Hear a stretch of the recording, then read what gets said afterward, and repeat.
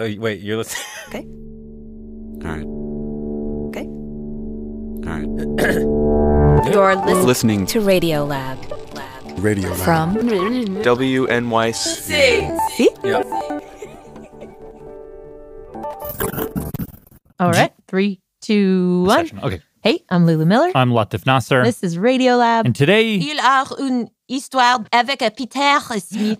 back Peter, we have a story Je m'appelle Pierre. Oh, oui, oui, oui, vraiment, vraiment. from science journalist Peter Smith. Okay, I'm gonna I'm gonna switch gears pretty dramatically here because I want to start with the big case before the Supreme Court this last session, You will hear argument this morning in case 191392, the abortion case, Dobbs versus Jackson Women's Health Organization. uh, because General Stewart? something happened during the arguments that I think most people probably didn't notice. Basically, I would I, I would say uh, the lawyer for Mississippi, he's arguing against abortion. And of course, the Supreme Court has already decided the issue of abortion in two previous cases, so they have seen much more calm. What hasn't been at issue they interrupt him and say, is the line. What's what's different now? Hmm. And he says Uh, Justice Sotomayor, I, I think the science has really changed. the last 30 years of advancements in medicine, science, all of those things. What are the advancements in medicine?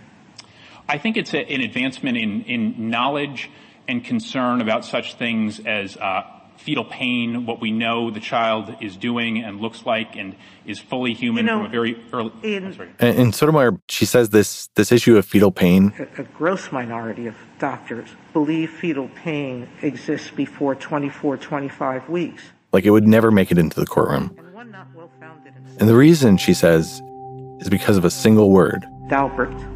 Daubert, or as it's often pronounced, Daubert. Albert. Daubert. By saying this word, she's essentially pulling down the gate that stands between law and science.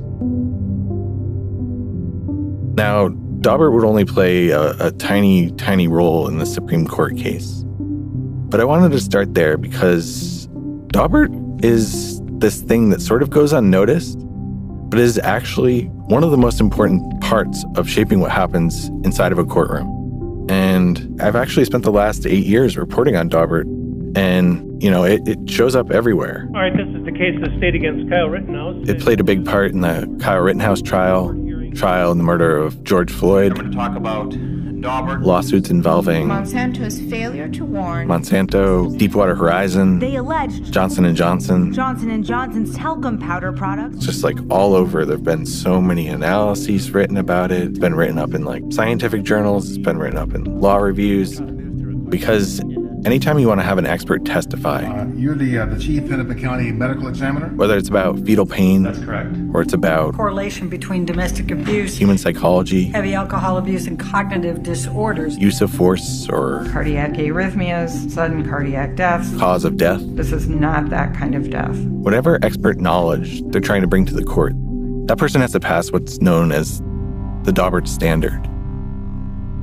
And a lot of people I talked to said that Daubert can can sort of make or break your case because Daubert essentially decides who gets to come into the courtroom and explain how the world works. Mm. Does that make sense? It does. Yeah. So, but it makes me want to know yeah, now what is the standard? is the standard and what is a Daubert? Yeah, exactly. I I was wondering the the same thing.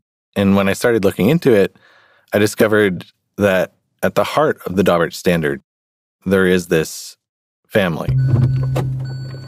The Daubert family. And one of the things that jumped out to me is that even though their name is is everywhere, the, the story of the family is is basically nowhere. Good morning, Peter. Hello. How do you do? Nice to meet you. Come in, please. Sorry, that's a little puppy. Okay. Good morning. So the Dauberts are, are Bill and Joyce What's the dog's name? His name is Rocco. and Rocco. He's a Maltese, and so they we needed a little tough name for him because he has deep things. Everything okay? Oh no, settle, settle. So the Dauberts live north of San Diego in sort of a high desert area. Sorry about the barking. I- And so Bill As you might be able to tell, I am not a talker. Bill didn't really want to revisit this whole saga. Joyce got that gene. I didn't get it. So I mostly interviewed Joyce, who's in her 70s, has a big full head of curly white hair.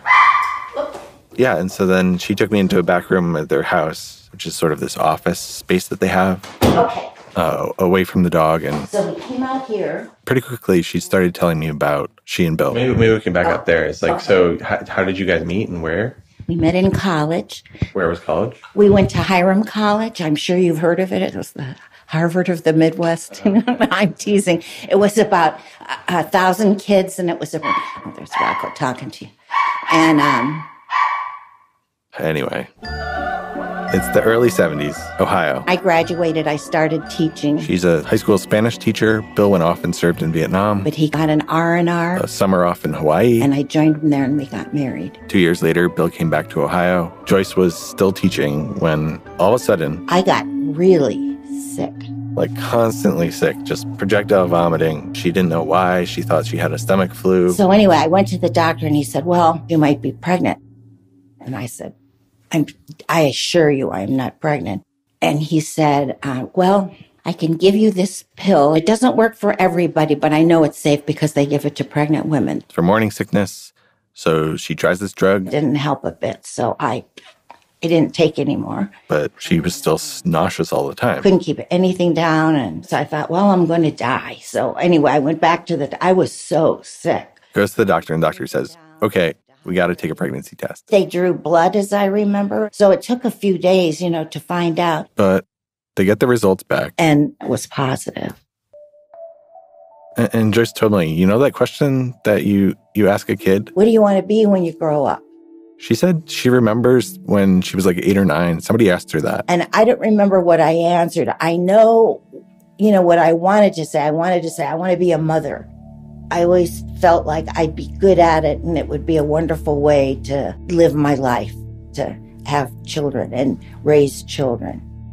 The nausea eventually went away, and Joyce and Bill picked out names Yeah, Jessica, for a girl and for a boy. Jason. Also, around this time, they moved out to California. Started our life here. And then one night in July of 1973, contractions. We took off for the hospital Nurses greet her out front. and they come out with a wheelchair and Eventually, they wheeled her into the delivery room, bright lights, Bill's at my head, gowned up. There's doctors and nurses swirling around. monitoring everything. People are telling her to breathe. Contractions are coming pretty quickly. And finally, someone says, Push. Push. and then suddenly, Crying. and someone says it's a boy. And, and then Joyce says, everything got like dead quiet. for a long time.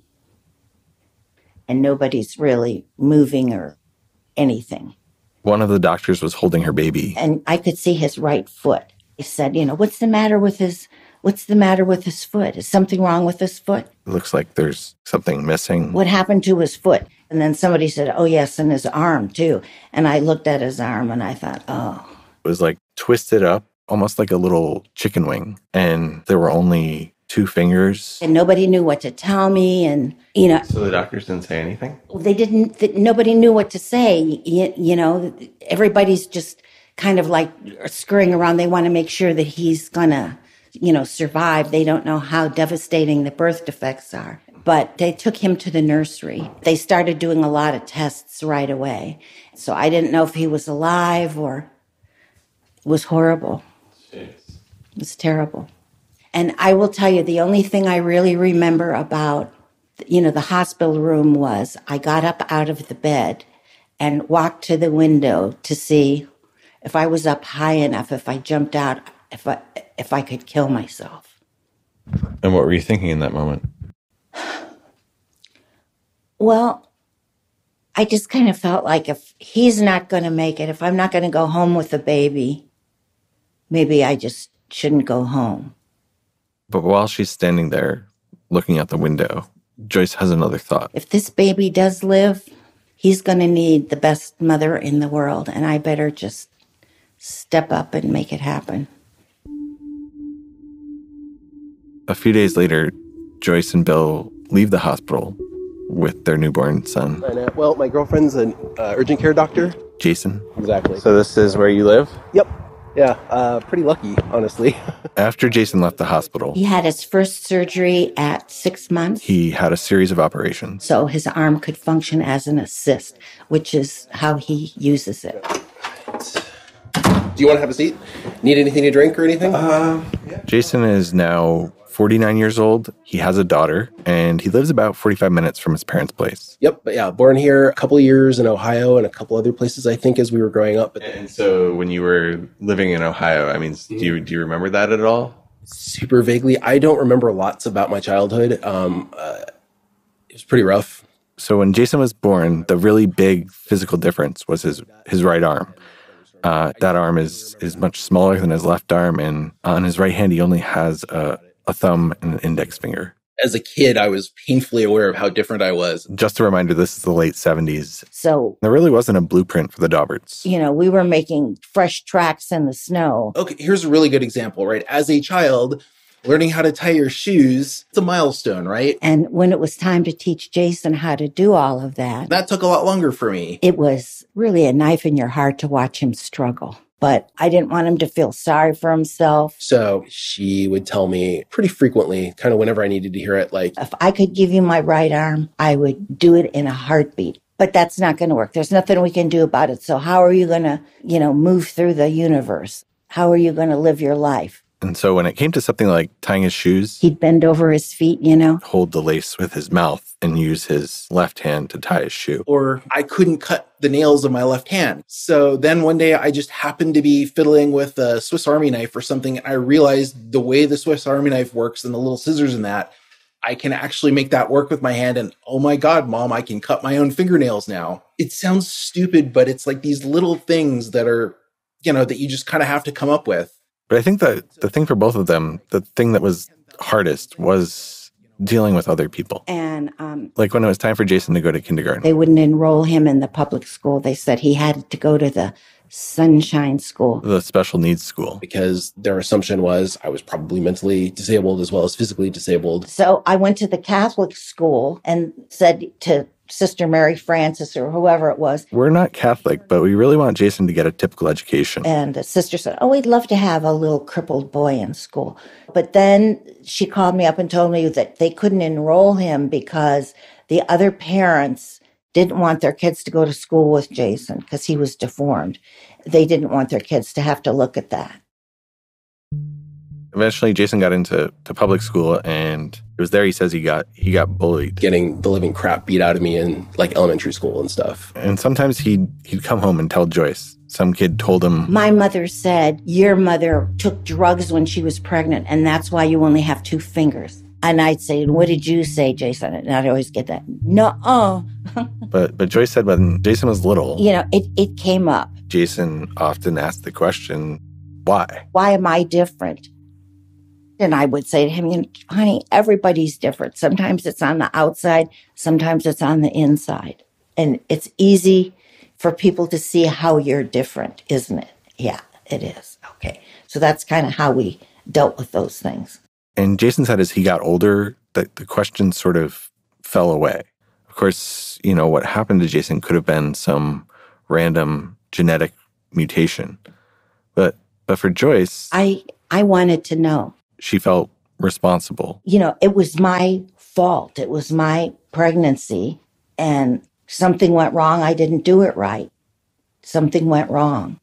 She and Bill had genetic tests done. From everything they could tell. They ran basically no higher risk than any other couple. I was careful about eating a healthy diet and, you know, no alcohol. I, I was looking through some of the medical records and they say there's no exposure to toxins or chemicals. I worked at having a healthy baby. I worked at it. I knew what I was supposed to do and I did it. and so when it came to Jason's birth defects, We don't, you know, we don't know, we don't know what happened. But but I guess I was also trying to figure out when did you when did you first like put it together?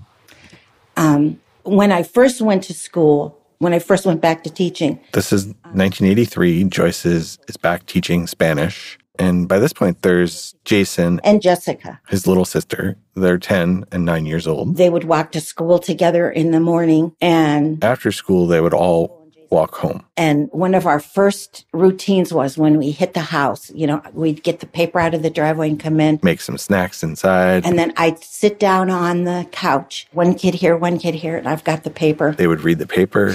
That's so sweet and nerdy. yeah, they would all sit down and read the comics together. The kids loved that. So, so one day, Joyce is flipping through the paper, To get to the comics and then she saw a photo of a little girl. with an arm exactly like Jason's. And Jason looks at it, and Jessica looks at it, and I'm looking at it. And Jason just gets up and goes to the drawer where the scissors are and brings me the scissors so I can cut out the article. And the article is about this little girl and her family who had just won a, a settlement against Merrell Dow, which was a pharmaceutical company that made a drug called Bendectin, a drug for morning sickness. I got really sick. And Joyce was like, Oh, the doctor. I can give you this pill. It's called Bendectin, That's what he gave me. and it doesn't work for everybody. And it was at that moment Joyce was like, Maybe I have the answer. And her quest to find out if she did would change how we judge what's true in this country. Stay with us.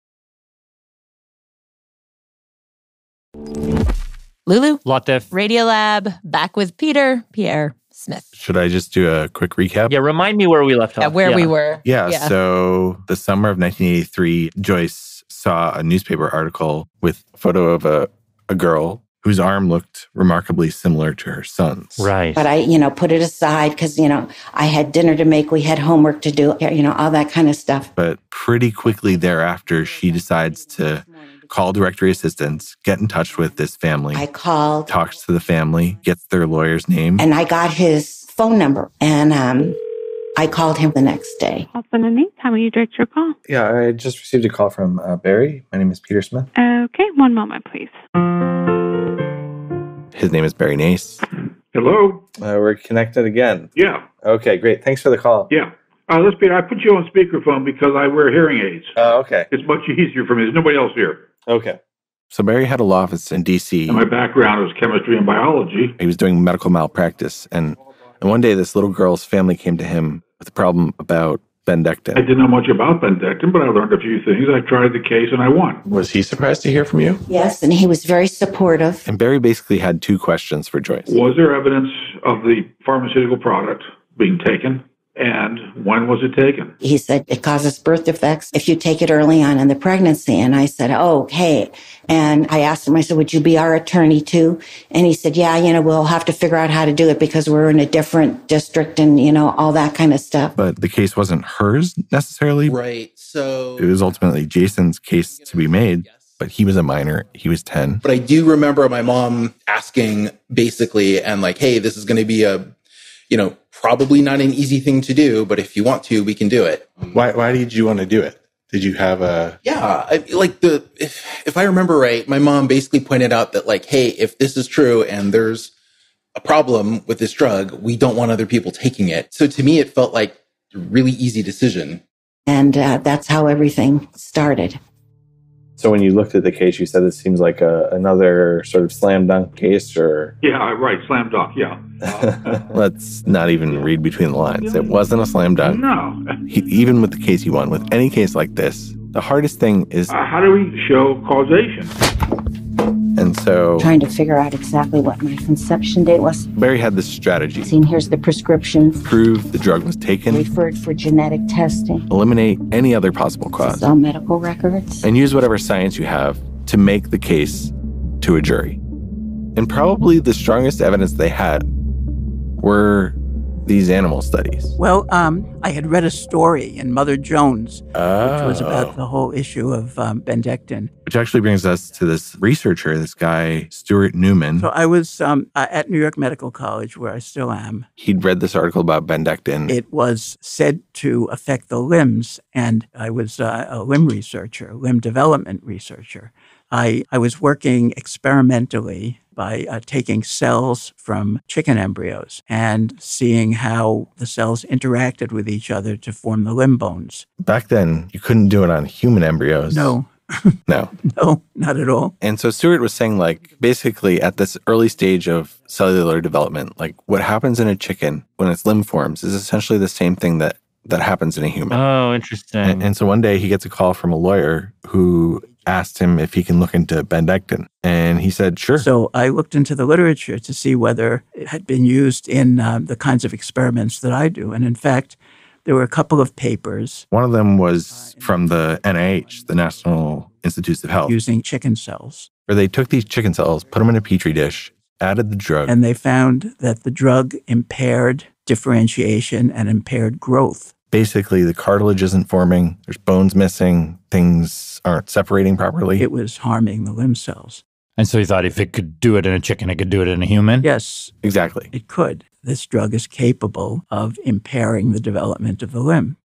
He eventually becomes an expert witness in these cases, the bendectin cases, and including Joyce's. So he was submitting depositions and he was sort of on call for for the trial. Okay, so they do get it sounds like it's a like it's a pretty solid case in a way. Yeah. They had a lot of good evidence. They had spent like six years putting together all this stuff, like animal studies, The prescriptions, the genetic tests. they felt that the evidence was real good. And I think that the lawyers sort of like reassured Joyce that they were very, you know, Kind of the, the what they said was it was very sexy. It's a very sexy case. And they said you're going to be the best witness in the world. So like after all these years, they finally get a trial date. It's it's set, and right before they're scheduled to go to trial, she gets a call from from her attorney, and Joyce is expecting like a, a pep talk or something, and her lawyer says basically the judge has thrown out our case, What? not going to trial at all. It was shocking. Everybody was very shocked. He really wanted to get into court and testify before a jury. Yes, I did. And so Absolutely. I very much wanted that. You know, I wanted to have my day in court. So they had like it's like they had the the scientific studies, they had the precedent, they had like heart wrenching testimony. Like it sounds like they have they have everything on their side. Yeah, but but basically the the judge had received a, a motion to toss out the case from the attorneys for Merrell Dow, one of whom was Sure. Um, Pam Yates. I was a one year lawyer and I had been put in charge of claims of birth defects due to bendectin. So just like Barry, Pam went out looking for research to build her case.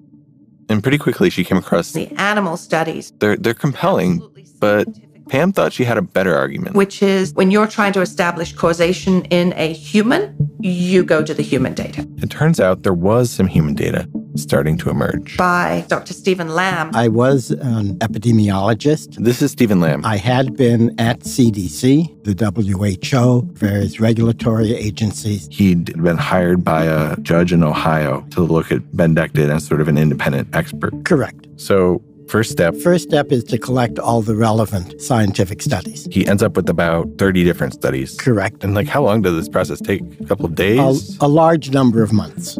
Maybe about six months. And then he started pulling out Had bendectin, all the numbers did not have bendectin. from every study. What birth defects were identified in the child? And so what he ended up with was the, the largest collection of human data that had been amassed on bendectin. It looked at 13,000 women who had taken the drug compared with tens of thousands who hadn't. And so what you then do is you look at the effects and the risk in both those groups and you compare them. And so what he found was in the group of women who hadn't taken bendectin, you had a rate of children born with birth defects, Of about three per hundred. which is the average background rate. And then in the group of women who had taken bendectin, you also had a rate of about three per hundred. Hmm. And, and so the question was Does bendectin actually carry a higher risk for birth defects? The answer was no. So it's a pretty definitive no as well. is What Correct. you're saying. Correct. And so when it came to Jason's birth defects, How can you say it's the drug? right before the trial, Pam submitted this motion to the judge. We have all this science. We have the science on our side. They don't have anything unless they rely on non human data. And the judge agreed. He tossed out the case entirely. But can a judge even do that? Like, uh, decide which expert out experts the other expert? Yeah, that was that was a real question. Like, do judges even have this power? Well, you know, like I would ask, can we appeal this? They appealed to the Ninth Circuit, and the Ninth Circuit said, yes, a, a judge can do this. And they have this power because of this rule. Called the Frye Rule. Frye. F R Y E. This rule from the 1920s that nobody had used until around the time of the Daubert case when all these other bad, crazy things started happening. When there was this supposed epidemic of litigiousness. And, and so now, at this point in the story, we're entering the quote unquote litigation boom. And to guide us through, We're, we're good now? I think so. Hello. We're going to bring in this guy. Michael Gottesman. I prefer Mike. Mike's a professor at Georgetown. Georgetown University Law Center. And so I, I talked to Mike about the role of experts and the role of expert testimony. And and so obviously like the, the Daubert's experts had been kept out of court off the witness stand. But Mike said if you if you look back, like just immediately before this case, before the 1980s, There was no idea that you could keep in a civil case an expert off the witness stand. in fact, there were some rules about this passed by Congress An overview of the federal rules of evidence. called the Federal Rules of Evidence. Rule 702 defines an expert rather broadly. It was basically like, let the experts testify. If there's an expert, let them into the court. And we rely on the jury to separate the wheat from the chaff. But Mike said once you got to the 1980s, things started to change. When two major areas of law began to blossom, Vietnam veterans who say that they were injured by Agent Orange. One was lawsuits about drugs, Ethylene dibromide. chemicals, very toxic pesticide. like Daubert, Cause of cancer, liver disease, and birth defects. and the other The tanker, the Exxon Valdez, was environmental lawsuits. The suit says these chemicals have already damaged wildlife. And Mike says it was around this time where expert testimony became absolutely crucial. And what started to happen is juries Struck a blow for veterans. started to give out $1.9 billion. big settlements to plaintiffs. And, and by the time you get to the Dauberts case in the late 1980s, early 90s, there was this this sort of conservative hand wringing about Junk science. junk science. junk science. Using junk science. Cases where individual people would sue companies and bring in these experts. The so called junk scientists, who were just basically guns for hire. Sometimes they call them saxophones because they were paid to play whatever tune you want them to play. Play it loud. I think there was like a kernel of truth to this. The two examples that sort of come to my mind is the one where a woman who said she had psychic powers went in for a CAT scan and lost her ability to see into the future. What? She sued the hospital and a jury awarded her a million dollars. There was this bus driver who claimed he got cancer from from bumps in the road, sued the bus company. He also won. And it's the junkiest science that's being used to prove these cases. So Courts were beginning to become restless about this. And so there began to be a few judges, including the Ninth Circuit, who went looking around for a way to keep experts out. And they found it in this obscure criminal case from 1923 called Frye. that had held that in criminal cases, judges could exclude expert testimony if what the expert was testifying to was not, quote, generally accepted. Which meant if you're an expert and you're going to testify, whether that's about epidemiology or engineering or whatever, what you're saying has to be generally accepted by the field you're in.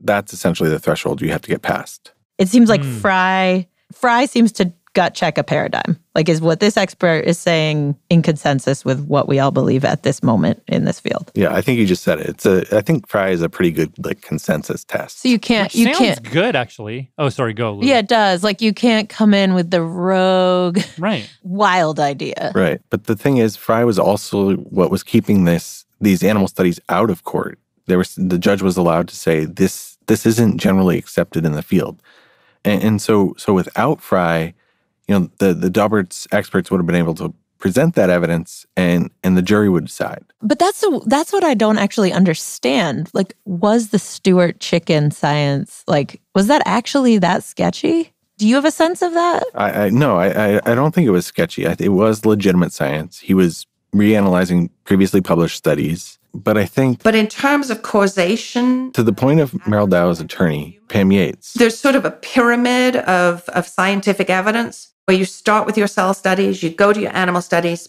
but the human data, the human studies are really at the top of that pyramid. And that was our argument on that. and, and that's basically what the judges agreed with. That's what's generally accepted. The Dauberts and these these animal studies, they they essentially don't have a case. And so for Joyce, like It's absolutely the right thing. not getting a trial was was profoundly disillusioning. Whose job isn't it everybody's job to protect the innocent and the defenseless? And if you don't stand up and say the truth, you're tacitly endorsing the wrongdoer. And and and that's when the world goes down the tubes, I think. So that's how I look at it.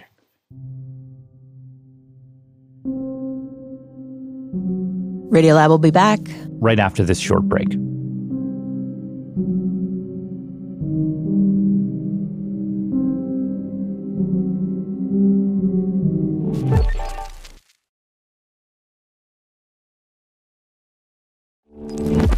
You start. Latif. Lulu. Back with Peter. Yeah, so uh Rocco, go to sleep. Um, so Jason and Joyce had filed a lawsuit against Merrell Dow. Had gotten kicked out of district court and then sent up to the Ninth Circuit. But then the Ninth Circuit said no as well. Yes, because the Frye ruling says da da da, get out of my courtroom. So then, I mean, then you're like, we're done, or are you? Well, we had to get that stumbling block moved to the side. And so you know what the next step is. We'll hear argument now, number 92.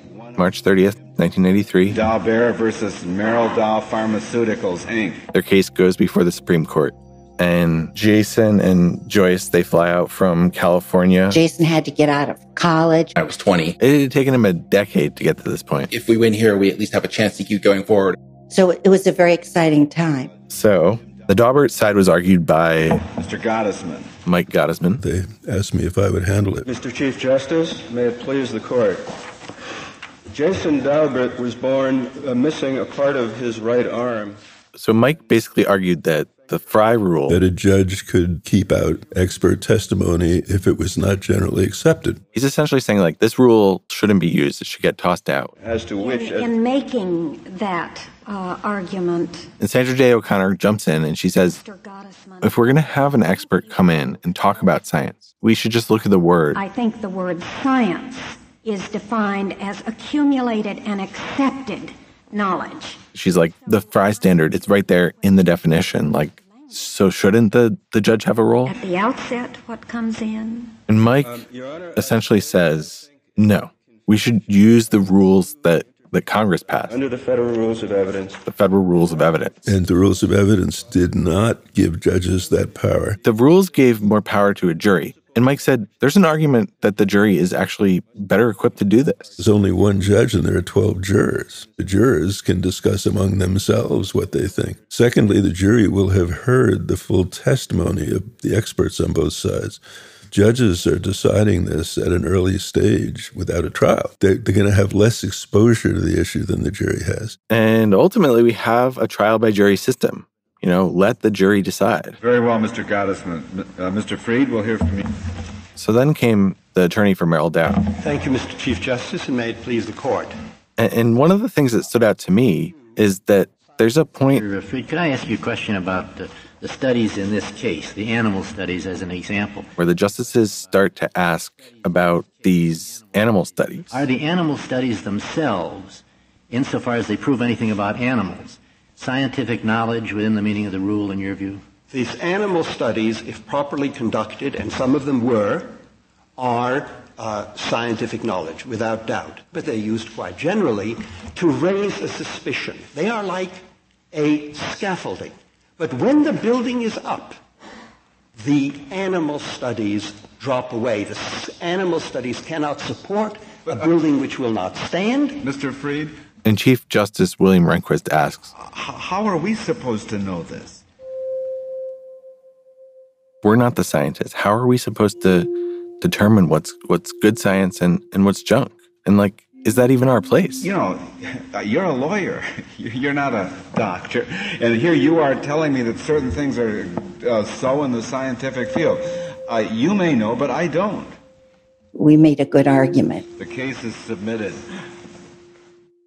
They went to a party like afterwards back at their attorney's. Punch and cookies and whatnot. Everybody's pretty excited. At one point, Joyce said one of the lawyers came up to her and he said, you know, that he was so happy to meet me and it was such an interesting case and he thought that it went well. What did I think? Joyce said she also thought it went pretty well. You just kind of hope justice will be done. Justice will be served. And uh, he said, you do know, don't you, that, you know, nine of the most important people on the planet, your name is on their lips. So Joyce went back home and, and started teaching. And a couple months later, she got a call from one of her attorneys. And she said, have you heard? And I said, no, I've been in school all day. You, you know, you know nothing. It's like you're in a submarine, you know, at school.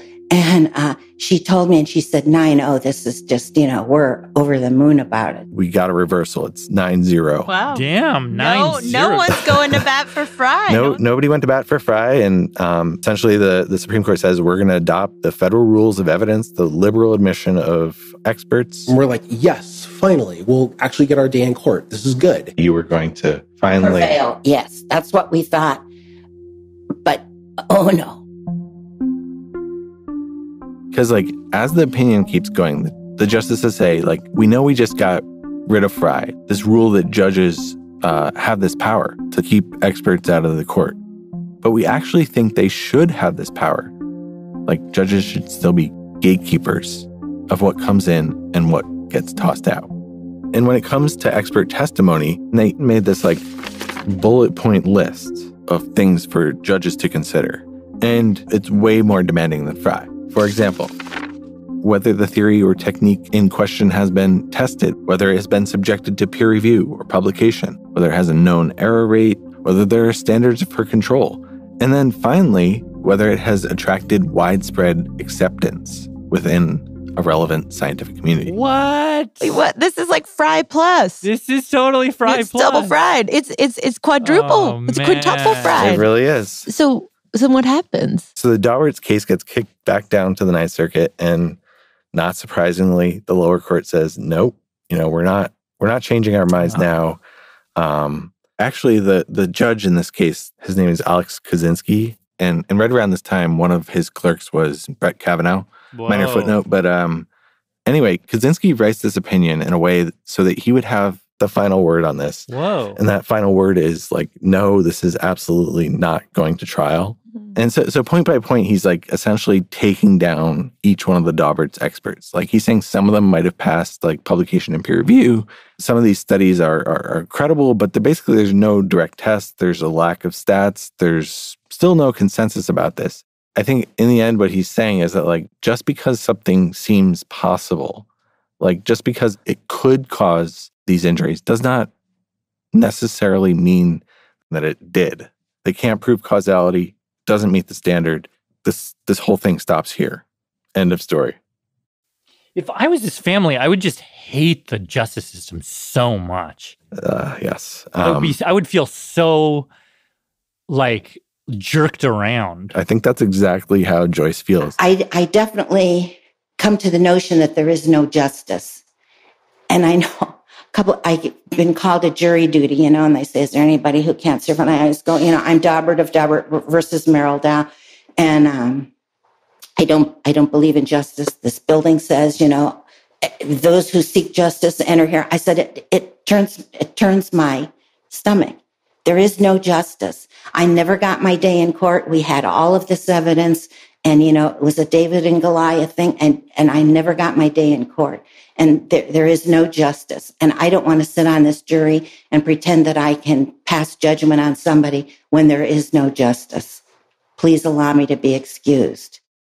Ah, it just that it just took them so much time. It took them over a decade, and and did they even get anything out of it? I think I think there is there is one thing. As your, uh, your, uh, Like when I went to visit Joyce, that she has a, a photo hanging on her wall. your New York Times. Uh, Have you seen that? And it- it's a photo of Joyce and Jason at the at the Supreme Court. You guys look really happy in the photo. They're like both like beaming. Well, we were happy to have a chance to get our case out. Yeah. So, and, and- but you keep the. I mean, like when you look at that, that's like a positive memory for you, or yes, it is. Um, you know, kind of the case of unintended consequences. So after the Supreme Court decided the the case, you know, there was this this new Daubert standard, and it was adopted by federal courts. It was adopted by most states, and, and so I think um, in in 1995, prosecutors wanted to introduce DNA evidence to prove that you know uh, a blood stain came from a certain person, and at the time, DNA wasn't generally accepted. It was something that was new, it was novel, but sort of the the judge applied the Daubert standard to to DNA. It got admitted as evidence, and it and it sort of like became this gold standard. It's totally revolutionized the way that uh, criminal courts, you know, look at evidence, and you know, it's been used to to prove people guilty of murders. DNA has helped get innocent people off of death row. Whenever somebody's released from jail because the DNA has um, exonerated them, or it's, we we feel very um, good that we were able to do that. their name has been invoked in sort of like in a way that allows people who are accused of crimes to like credibly question the prosecution, incredibly question the state's experts. And what what it's what happens is it's sort Daubert has sort of shown that all these uh, bedrock techniques, these forensic techniques that are sort of like all over in the courts, they aren't actually rooted in science. They're sort of like these techniques that were developed by law enforcement to to prove people guilty. And you know, this, this includes like bite marks, um, ballistics, matching tire marks, blood spatter, uh, shoe prints, even fingerprints. I mean, like uh, all these all, all these disciplines, like um, you know, it, it, they they don't actually meet the requirements of Daubert, and so. Hmm. I think that's a really powerful tool, not just in criminal cases, but in like all cases. So say like we're not just going to be deferential to authorities. We're not just going to be deferential to uh, the received wisdom of the courts. We're going to say like, well, using the scientific method, like how do you prove that? Huh. So So it's like a tool for for someone who is somewhat powerless. It's it's giving someone a little bit of a chance to kind of scrutinize the the reason that they are being like said to be guilty. It, it gives them like one more. Yeah. Like I think like if you're if you're deciding like really important things, if you're deciding, you know, like if you're if you're trying to prove somebody guilty of murder, if you're if someone someone has died of asphyxiation and, and not a drug overdose, if vaccines cause neurological injury, if chemicals are leaching out into the water. I mean, it, the list goes on and on and on. But you, if you're deciding any one of those things, you really, I would really hope that like you know, we use the best available science. Like this isn't a theocracy. We need to like we need to use the tools that scientists have developed to understand the world and like apply those in the context of the law. You know, like the law is demanding answers and like science doesn't always have the answers. But at least we can use the methods of science to like guide people to like get up a little bit closer to the science. Do you think Daubert does that though? Do you think Daubert helps us get to the best available science? Are you are you Peter who's looked at it so closely like do you feel like it is a good um kind of metric or gateway set of checks? Like Well, do you think it is the good standard? No, yeah. I, I mean, I, I, no, honestly, I think that Daubert can and should be used as like a force for for social good. But but, I, but that said, I think that it really does have some some flaws. And the first thing that you see, if you look at the data on the criminal side, you basically see that you know, like a lot of judges come from the prosecution side. They're they're more likely to admit evidence that is offered by the prosecution. So sometimes bad forensic science gets admitted. Um, and innocent people go to jail. Um, that that's bad. And um, yeah, on the civil side, I think you see that the companies have sort of endless resources, deep pockets, and they're able to fund um, research that can sort of be used to disprove this litigation. So these big money interests can essentially undermine the credibility of of the plaintiff's expert. So I I think it's an imperfect standard, but I think that like there is no perfect standard. I think that's the real problem is that if we are going to have judges and juries who are non-scientists deciding these things that um, you know i think it's just a it's a problem that's like inherent in your constitutional right to a trial by jury like i don't think we're going to have a perfect standard Right. But I guess there is the question of is this even that much better if the judge still holds the power to toss science out? right Sure, certainly isn't perfect. yeah this is definitely something that jason talked about For us, a big part of it also is chance, right? Like if we had gotten a different judge, we might have had a different, you know, like we might have had a better chance at at least getting in the door. That's really my big thing. Like I could have dealt with going to trial and losing. That would have been not ideal, but doable, but not even getting to go to trial. And again, I understand the basic idea, right? Like you don't want to allow any crank in their perpetual motion machine into court. I get it. Absolutely. Um, and cranks can look pretty respectable. There's that too. You've got that problem. So you've got lots of different things you got to guard against. I get it. So, and I mean, it's possible. Like, like I say, I could be wrong. I could be the crank unknowingly. I don't think so. But like, it's not that I know that Bendectin caused my birth effects.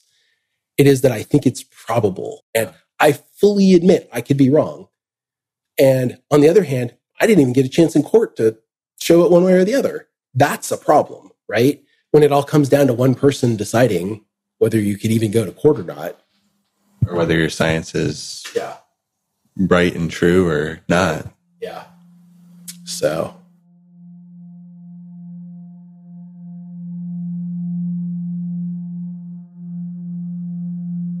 Well, do you kind of think that bendectin didn't cause the birth defects? Um, yeah, I, I don't, I don't actually know. I, I think, you know, what I'm saying is, we, we know what the epidemiological evidence showed, and I don't think that that evidence necessarily disproved that the drug caused Jason's injuries. But, but I also think, yeah, I think there's, there's a lot of uncertainty there. Well, I guess, you know, that's why we go to court. And everybody presents their evidence and then we decide.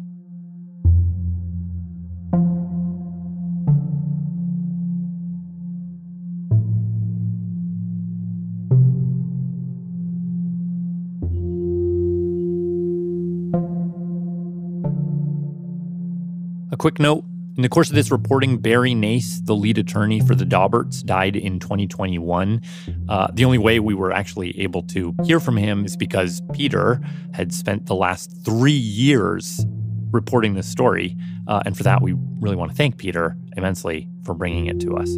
This story was produced by Matt Kielty with production and reporting assistance from Sarah Qari. Special thanks to Leah Littman, Rachel Rebouche, Jennifer Mnookin, David Savitz.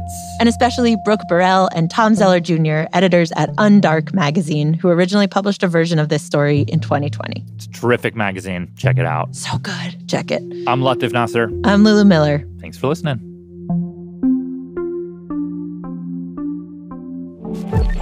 Radiolab was created by Jad Abumrad and is edited by Soren Wheeler. Lulu Miller and Latif Nasser are our co-hosts. Susie Lechtenberg is our executive producer. Dylan Keefe is our director of sound design. Our staff includes Simon Adler, Jeremy Bloom, Becca Bressler, Rachel Cusick, W. Harry Fortuna, David Gebel, Maria Paz Gutierrez, Sindhu Gnanasambandan, Matt Kielty, Annie McEwen, Alex Neeson, Sarah Qari, Anna Rascouët-Paz, Sarah Sandbach, Ariane Wack, Pat Walters, and Molly Webster, with help from Bowen Wong. Our fact checkers are Diane Kelly, Emily Krieger, and Natalie Middleton.